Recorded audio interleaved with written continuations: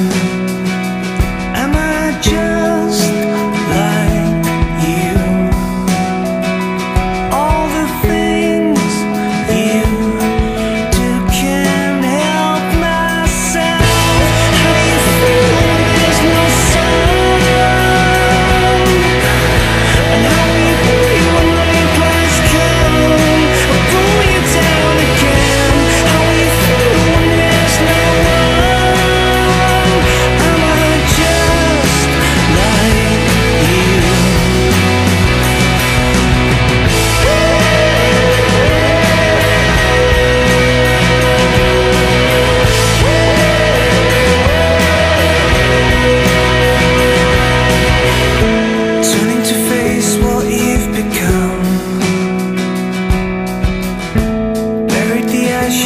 someone broken by the strain, trying to fill that space inside.